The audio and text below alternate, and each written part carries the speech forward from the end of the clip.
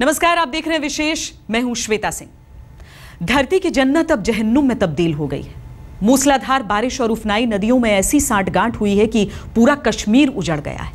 किसी के घर का चिराग बुझा, किसी की लाडली चली। बच्चे अनाथ हो गए। कई बुज़ुर्गों का आखिरी सहारा छिन गया। सैलाब से बचा हुआ हर इंसान अब दर्द की मुकम्मल दास्तान है। आँखें बरस रही हैं, दिलों में छाले पड़ गए हैं।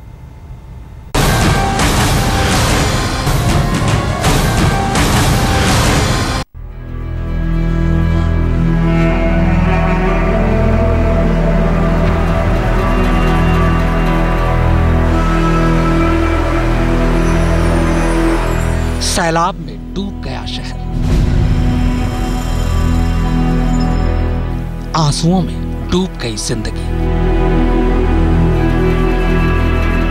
अपनों से बिछड़ने का दर्द। घर से बेघर होने का दर्द। कहीं हलक से चीखता दर्द। पानी पानी घुस गया न किश्ती थी न कुछ था न बोट था। गवर्नमेंट का कोई भी इंतज़ाम नहीं था। हम मर गए घरों में। कहीं आँखों में रिश्ता दर्द।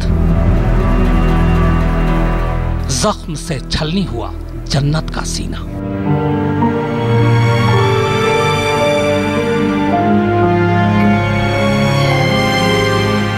आँखों से दर्द का दरिया बह रहा है। घर बार छूट गया है। सारे सपने खो गए हैं। सैलाब के खौफनाक मंजर को इन आँखों ने देखा है। उस मंजर ने इन आँखों में दहशत भर दी है। जो घर इनका आशियाना था, वो सैलाब में कब्रगाह बनने पर आमादा हो गया। ज़िंदगी इससे पहले उसमें डूब जाती। ये लोग किसी तरह जान बचाकर निकल आए। थोड़ा बहुत सामान लिए, सड़क पर आ गए। और जैसा आप देख रहे हैं, हज़ारों की तादाद में लोग इसी तरह अपने घरों से बेघर हो चुके हैं।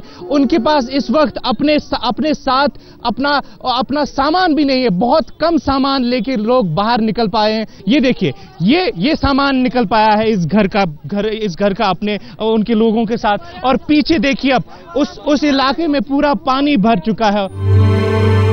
घरों से बेघर हुए इन बदनसीबों के लिए जीना इतना आसान नहीं है। भविष्य का अंधेरा आँखों में छाया हुआ है।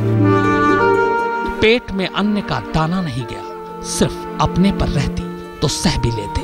अपने बच्चों को भूख से तड़पते हुए देखकर एक माँ आखिर कैसे ज़िंदा रह सकती है?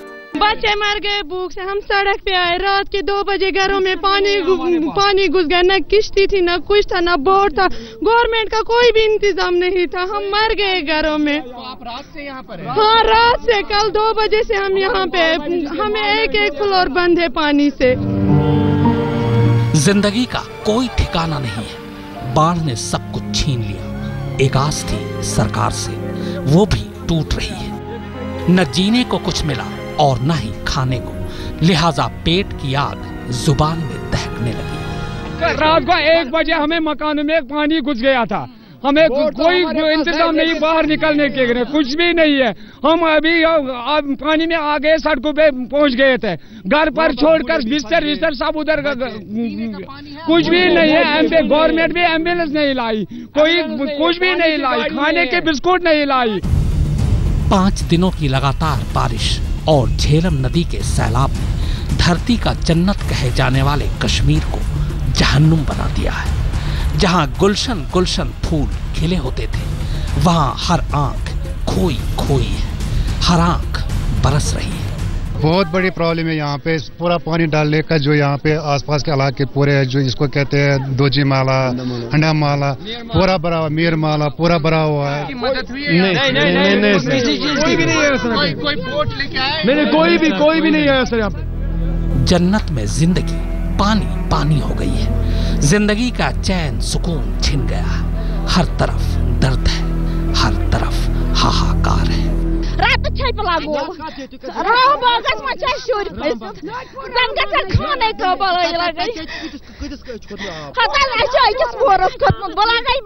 ये ये यहाँ पर आप हालत देख सकते हैं ये महिलाएँ कुछ है जो बच, बच के तो निकली हैं अपने अपने इलाकों से लेकिन जब यहाँ पर पहुँची है तो इनकी हालत आप देख सकते हैं। ये कह रही हैं कि उनके घरों के अंदर बच्चे फंसे हुए हैं। सैलाब का पानी उतार पर है उतर भी जाएगा। लेकिन इस सैलाब ने जन्नत के सीने में जो जख्म दिए हैं वो आसानी से भरने वाले नहीं है। अरसे तक रिश्ता रहेगा ये जख्म।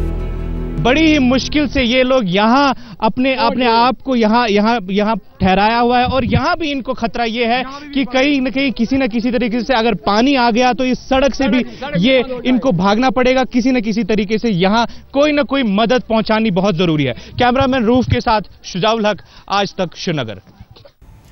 ये सैलाब तो जम्मू कश्मीर के लोगों की ज़िंदगी में तूफ़ान बनकर आया। देखते ही देखते आशियाने उजड़ गए। सैलाब का पानी ज़िंदगी निगलने के लिए उतावला हो गया। घर बार, माल असबाब कुछ नहीं बच सकता था। अपने आशियानों को सैलाब के हवाले करके लोगों ने जान बचाई। हज़ारों जिंदगियाँ अब बेघर हैं, बेबस हैं।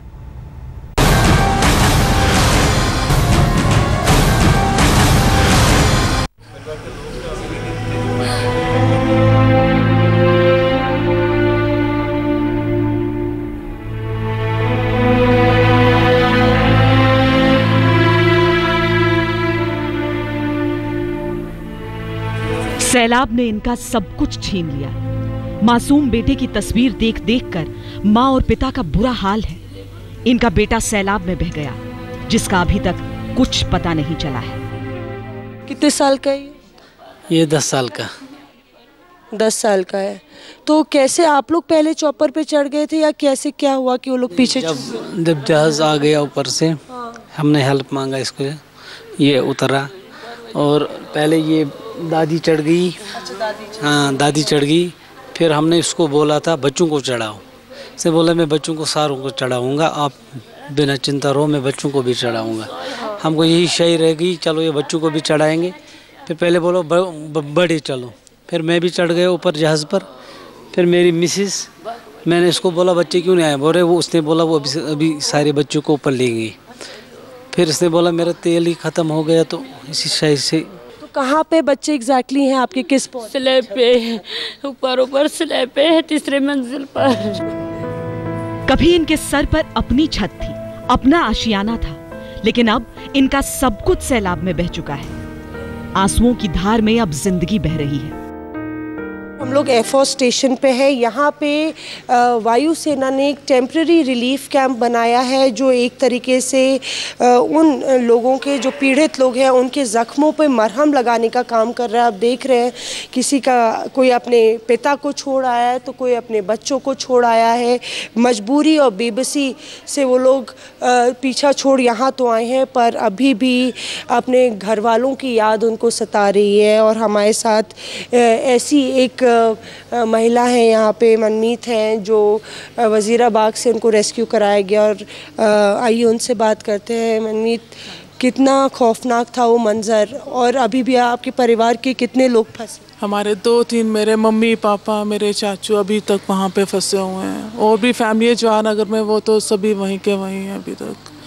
और बहुत खौफनाक डर लगता है। दो दो मंजिल तक पानी आ गया, गाड़ियाँ हमारे इंपॉर्टेंट डॉक्यूमेंट्स पेपर सब कुछ वाश हो गया वहाँ पे। कुछ भी नहीं बचा, कुछ भी नहीं। बस ये एयरफोर्स वालों ने हमारी जान बचाई है, हमें निकाल के लाए किसी तरह से बस। हर तरफ़ दर्द है, आँसू है। हर इंसान अब मुकम्मल दास्तान बन चुका है। हकीकत सिर्फ़ ये है कि ये ज़िंदा है। लेकिन ज़िंदगी आगे कैसे चलेगी? इस सवाल का जवाब इनके पास नहीं है। हताश और मायूस, ये सब वो मज़दूर हैं जो रामबाग के इलाके जहाँ पे पूरी पानी भर गया था, वहाँ से छोड़ के भाग भाग के ये लोग आए हैं। इस उम्मीद में ये लोग एयरपोर्ट की तरफ़ इन्होंने रुख किया कि शायद यहाँ पे कुछ इनके लिए आगे का रास्ता बनेगा। ना अपना सामान, ना ना कुछ लेके आए, सब कुछ अपना गवा के ये लोग आए पूरे हम लोग छः फुट पानी में, पूरे सीने तक था हमारे पानी। उसके बाद हम लोग ऐसे पैदल निकल निकल के एक दूसरे के सहारे हम लोग यहाँ तक पहुँचे हुए अभी। जम्मू कश्मीर में आए भयानक सैलाब ने पूरे प्रदेश को तबाह कर दिया। सौ से ज़्यादा लोगों की जान चली गई। लोगों का घर बार तबाह हो गया। इनकी ज़िंदगी तो बच गई, लेकिन ये ज़िंदगी अब जैसे जहन्नुम बन गई है। मौसमी सिंह, श्रीनगर, आज तक। वो खुशनसीब थे, जिनकी गुहार तक सरकार की मदद पहुँच गई।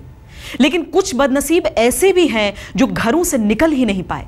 दो मंजिला घर की पहली मंजिल पानी में है, दूसरी मंजिल पर किसी तरह से ये लोग जान बचाकर ज़िंदा हैं। राशन खत्म हो चला है, पानी का ठिकाना नहीं है, इस आस में ज़िंदा है कि शायद कोई मददगार उन तक पहुँच ही जाए।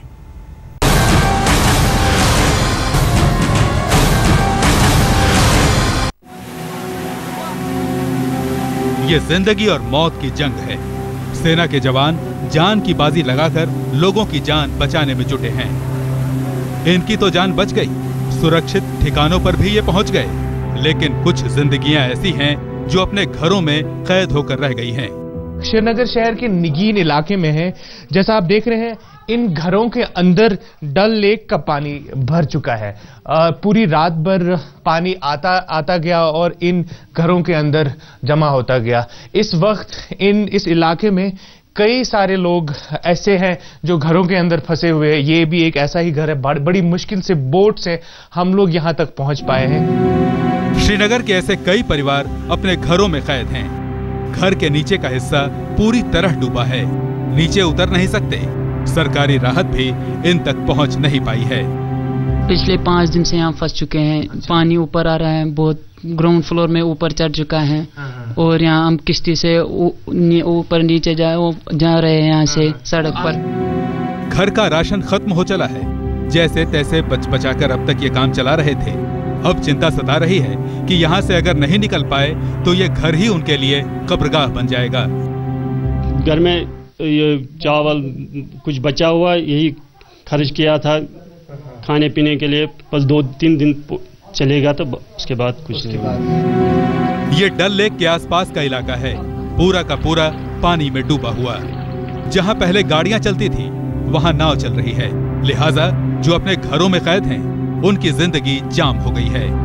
इन्हीं हालात में लोग रह रहे इसी इसी तरह अपना सामान कहीं ना कहीं जमा करके आ, किसी तरीके से अपना इंतज़ाम कर रहे हैं। लेकिन ये इंतज़ाम ये सामान जो इनके पास खाने पीने का सामान है ये भी बहुत देर तक नहीं रहेगा। किसी न किसी को इनकी मदद करने सरकार को इनकी मदद करने आना ही पड़ेगा। कैमरामैन रूफ के साथ शुजाउल हक श्रीनगर आज तक। उन्नीस सौ निन्यानवे में करगिल युद्ध के वक्त वहाँ के आसपास रह रहे लोगों को विस्थापित करके जम्मू के पास बसाया गया था। खून पसीने की कमाई से लोगों ने नया आशियाना बनाया। लेकिन तवी नदी के तांडव में ऐसे तीन दर्जन लोगों के आशियाने तबाह हो गए। सब कुछ पानी में चला गया।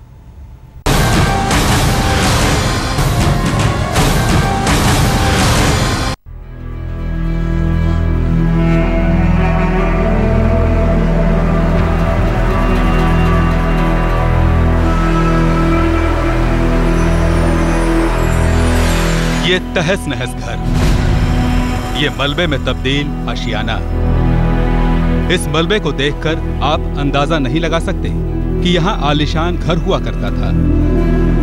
जम्मू में तवी और चेनाब नदी के सैलाब ने इस घर के साथ मोहम्मद फारूक के सपनों को भी जमी दोज कर डाला। फारूक के दर्द की कोई इंतहा नहीं है।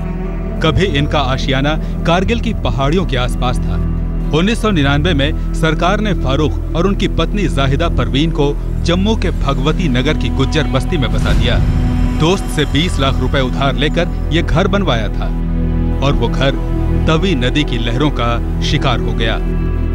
कुछ जो कुछ था, हमारे पास कुछ बचा नहीं। हम ऐसे बस अब बाहर ही बाहर बैठे हुए तो अब क्या करेंगे, हम कैसे करेंगे, कहाँ से लाएँगे? जो भी था, हमारे पास पैसा, जो कुछ हमने भैंसों का दूध वगैरह बेच करके जो कुछ किया था, हमने वो इसी के लिए किया था। हमने कि उसको, उससे थोड़ा थोड़ा करके हमें गुजारा करते थे उसे। अब मदद के लिए इस वक्त तक हमारे पास कोई नहीं आया। कहाँ कहाँ शेल्टर करना, क्या करना? छत के ऊपर हमने दिन, तीन दिन, चार दिन गुजारे फारूक मलिक की बीवी जाहिदा परवीन का गम तो पहाड़ हो गया है। उनकी नज़रों के सामने ही तीन दर्जन से ज़्यादा मकान सैलाब में बह गए। जाहिदा के पास कुछ दिन पहले तक ज़रूरत का हर साजो सामान था। लेकिन अब तो घर में रोटी बनाने के लिए तवा तक नहीं बचा है। भूख से ज़िंदगी बेहाल है। कुछ खाने के लिए भी नहीं कुछ बचा इधर सब कुछ हमें बह गया इधर क्या हुआ उस दिन? कैसे हुआ और कितने बजे से शुरू? पानी आया रात को तो थोड़ा कम था। बस सुबह ही चार बजे के बाद ज़्यादा पानी आता आता फिर हम निकले इधर हमने फौज ने इधर से निकाला। फिर उधर निकल गए पीछे सारा कुछ हमने कुछ निकाला ही नहीं। फारूक ही नहीं गुज्जर बस्ती के तीन दर्जन परिवारों पर भी शनिवार को कुदरत का कहर बरपा। देखते ही देखते सब घरों से बेघर हो गए। आज हम जब वापस आए, यहाँ पे तो हमने देखा तो पूरे तरीके से हम वीरान हो चुके थे। हमारा पूरा सब कुछ लॉस हो चुका था। यहाँ पर कोई भी चीज़ बाकी नहीं थी। तवी नदी पर बना बाँध टूटा और तीन दर्जन परिवार घर से बेघर हो गए। अब इनके सब्र का बाँध टूट रहा है। आगे की ज़िंदगी पहाड़ सी लग रही है। अश्वनी कुमार, जम्मू, आज तक। जम्मू कश्मीर के बाढ़ पीड़ितों की मदद के लिए इंडिया टुडे ग्रुप की ओर से केयर टुडे ने मुहिम शुरू की है। आप अगर जम्मू कश्मीर के बाढ़ पीड़ितों की मदद करना चाहते हैं तो अपना चेक भेज सकते हैं। आप मदद का चेक इस नाम से भेजें। Care today account J and K flood relief fund cheque भेजने के लिए पता है care today fund India Today mediaplex F C eight sector sixteen A film city Noida two zero one three zero one अगर आपको अधिक जानकारी चाहिए तो मेल करें Balaji dot Singh at intoday dot com पर। आप कॉल भी कर सकते हैं। फ़ोन नंबर है plus nine one nine eight one zero eight two two two nine eight